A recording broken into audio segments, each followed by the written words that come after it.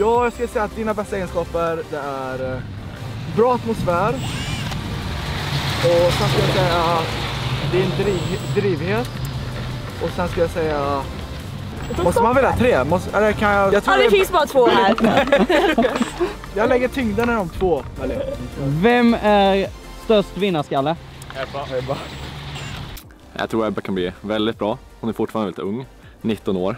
Eh, Så hon har många år kvar inom sporten. Men hon är redan där nu liksom.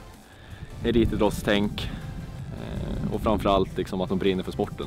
Hon tycker det är så kul att vara, vara en del av parasporten. Vad tror du det har betytt för henne att ha kommit in i parasport?